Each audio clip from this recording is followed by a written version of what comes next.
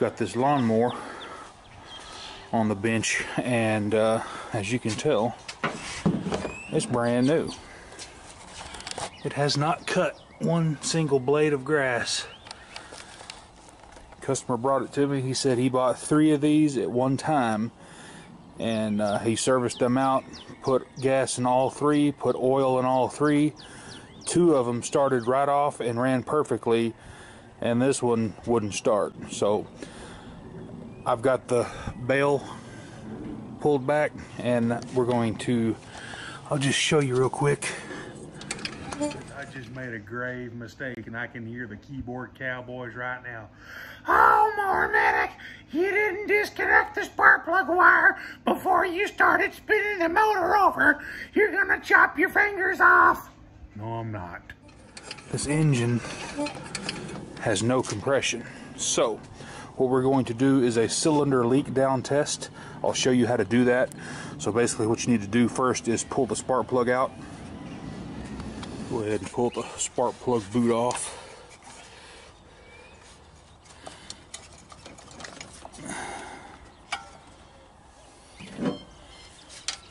Take your wrench, loosen up your spark plug, go ahead and unscrew that.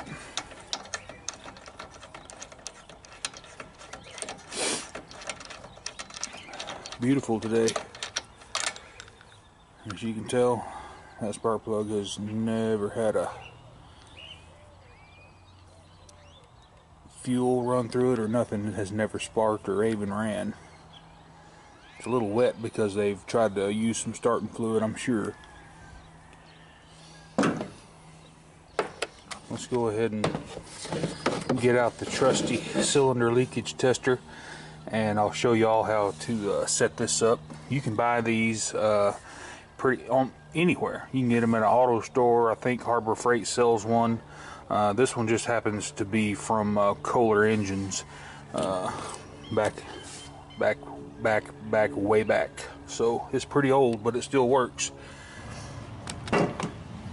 Go ahead and get your test uh, hose screwed in. As you can tell, it's got an O-ring here and an O-ring. This is 14 millimeter threads, and this is what 16 or 18. I can't remember what size spark plugs the bigger size is. But go ahead and just th thread this in, and you don't have to over tighten it. Just thread it until it butts up against the O-ring, and just give it a little twist like that, and that's plenty. What you want to do want to hook your uh, your tester up to shop air. It can be at any PSI 150, whatever. And what you want to do, you want to unlock your regulator, and you want to turn this clockwise until this goes all the way to set. We're not worried about this gauge right now. Actually, this gauge doesn't do anything. It just shows you what your shop air is. So just keep turning until it gets to set all the way to zero, anywhere in that yellow. See if you go a little bit too pat too far past, you can turn it back the other way. And I like to get it as close to zero as possible. Alright, so now what we're going to do is plug this into your hose that you have in your spark plug hole.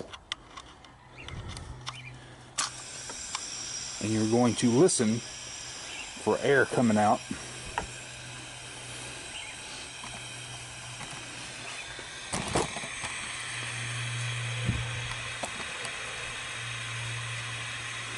Pop the air filter off and we can hear I'm going to spin this motor over.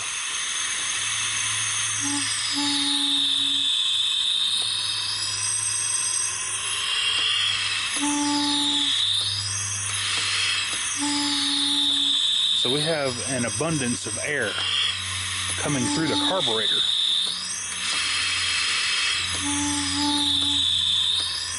So when I'm turning this engine over, that's telling me that the intake valve is not closing. So let's dig a little deeper and see what we can find. It's just three screws. Go ahead and pull the screws that hold the valve cover on and let's just take a look and see what's going on here.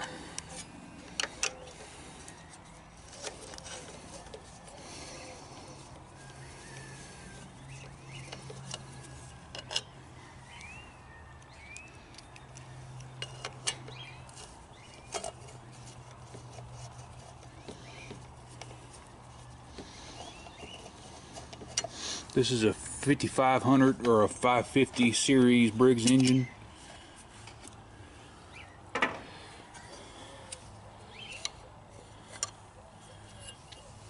And there we have the valves. So let's just look and see. I'm going to turn this engine over by hand and just look and see if the valves are opening and closing. And nothing wrong there. Oh man, hold on a second. We've got something going on with that uh, intake valve. Let me get this rocker arm off and let me show you. It's a 5 16 or 8 millimeter. Just go ahead and give it a loosen.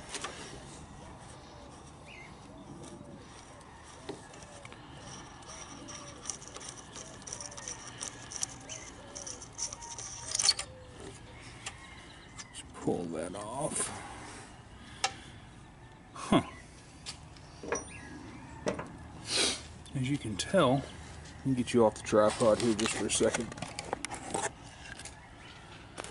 The valve spring is there, but the valve stem is not seated in the keeper. Let's pull that off easy so we don't lose a valve. Let's inspect that. Still got the assembly lube on it. Why did that valve come out of that keeper? I don't know unless the shoulder of the valve itself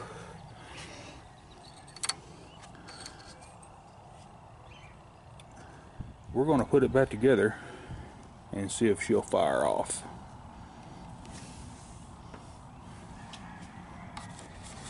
I'm going to put cylinder pressure to hold the valve closed while we reassemble the intake valve. Just go ahead and screw your hose back in.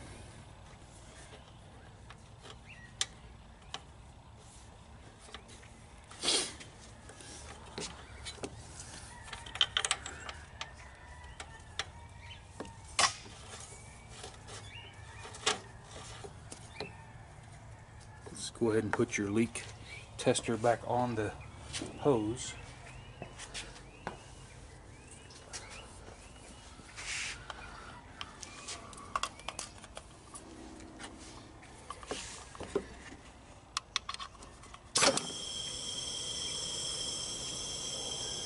That time,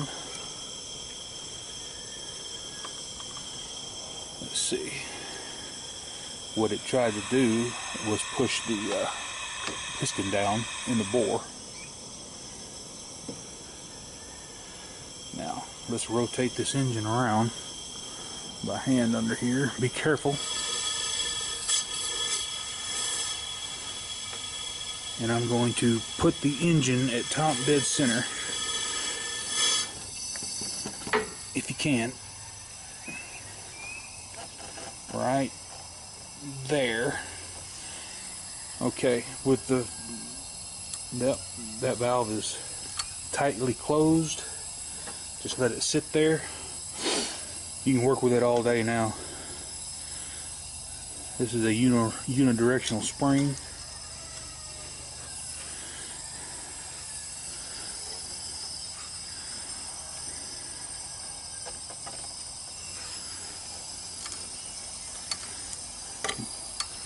Just for the sake of sakes, I'm going to turn the keeper with the slot down.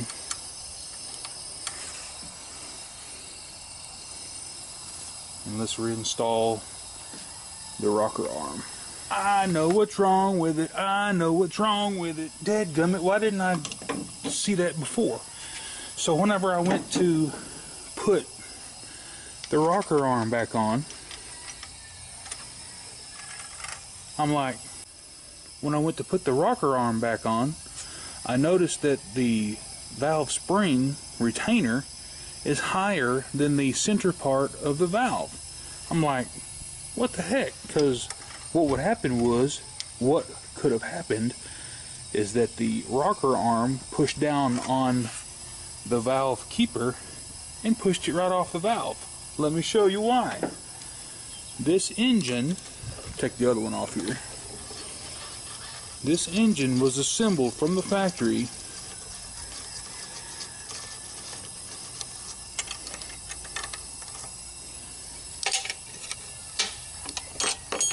without a valve stem cap.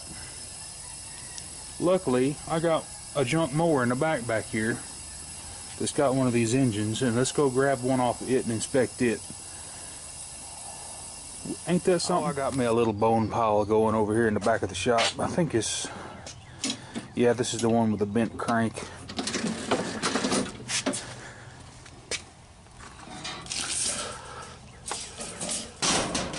Get this Honda out of the way.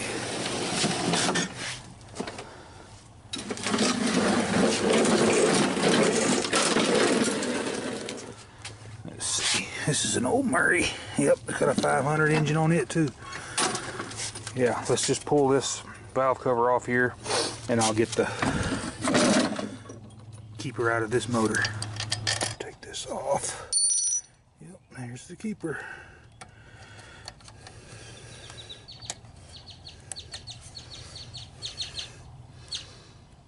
One little old part got the customer fouled up, got me fouled up because I'm pissed off at Briggs and Stratton. Let's go put her back together.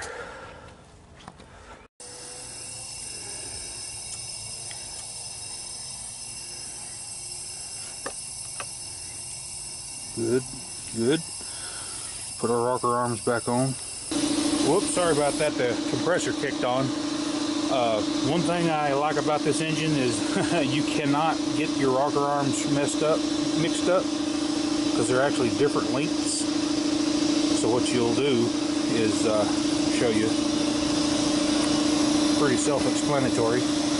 You look at your uh, push rod length to this is shorter than this push rod to that, so you know your long one will go to your exhaust valve go ahead and tighten down your just get them tight because you'll have to uh, finger tight because you'll have to adjust them once we get the engine rolled around to top dead center I'm gonna go ahead and take this out of here so I can see the piston. I'm gonna roll it around by hand.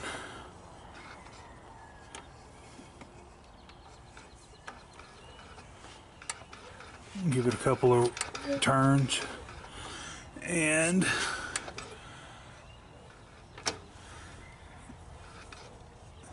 I can't see the piston so what I'm going to do is I'm just going to use a blunt tool to go inside the cylinder. And we're going to turn it until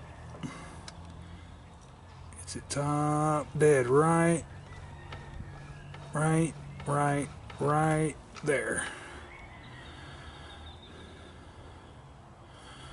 And we're going to go about just a little bit past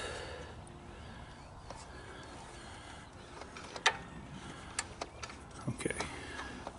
Let me start that over. I got messed up. So we got intake compression. Okay so that's where we want to be. I was on the bottom side of the stroke not the top side. Okay so the as you can see I'm wiggling the crank back and forth. So right there is top dead center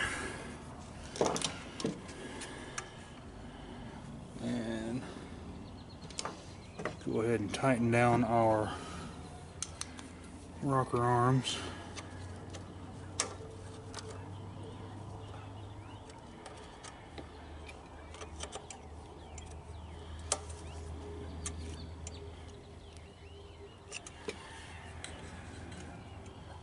We'll check our clearances. This one seems to be a little tight, so we're going to get the gauges. I'm going to see if I can find my feeler gauges.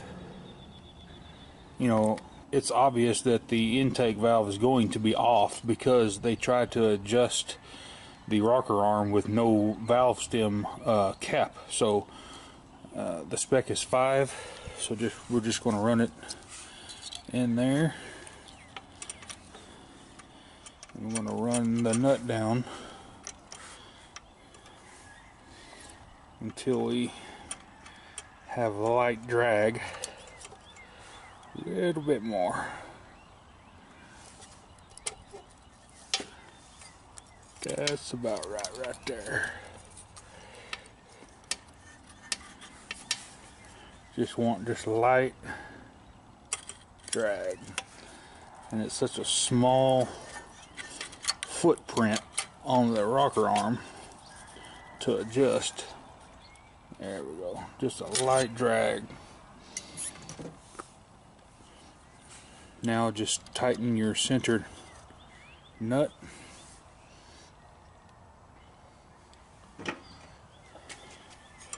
You may have to hold the the rocker arm itself, the nut, which I'm going to have to do. Let me get a uh, 5 16 wrench. Guys, I'm going to put links to everything in this video, tool wise, parts wise. Okay, just tighten that and do the same thing for the exhaust valve. I've already set it, so we're going to just tighten the center screw. Good to go. Throw the valve cover back on there and see if she'll fire up. Let's go ahead and tighten down your valve cover bolts.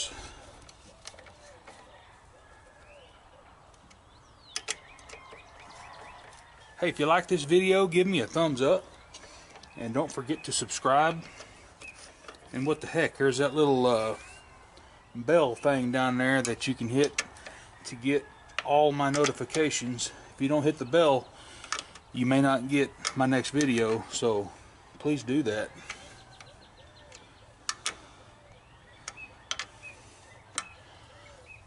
Okay, let's do the leak down test again and see where we're at. Okay, so I reset my gauge to set. I put the spark plug uh, lead back in, not the lead, but the hose. And now I'm going to spin the engine over by hand. And we're going to watch this one creep up. And it'll be hard to pull this engine through because you're building compression.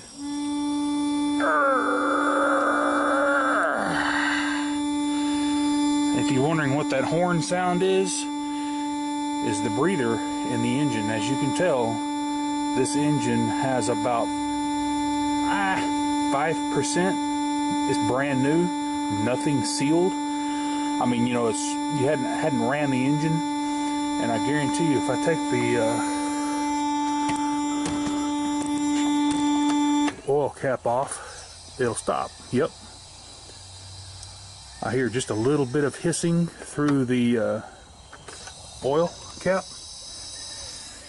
But like I said, this engine has never ran. That's funny, isn't it? uh, what's happening is, you know, you have to break in an engine, so you might be getting a little uh, leakage past the rings until they seat and whatnot. But uh, let's go ahead and I've already checked the oil tighten that back down, you're going to have a little buzzing sound coming through the reed valve on the uh, the breather. But uh, yeah, that's a healthy engine.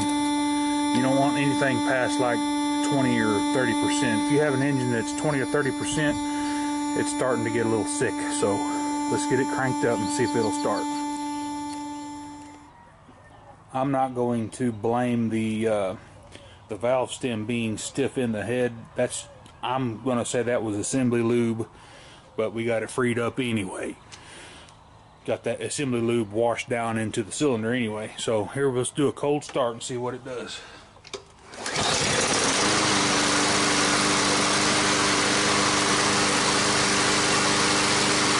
going to smoke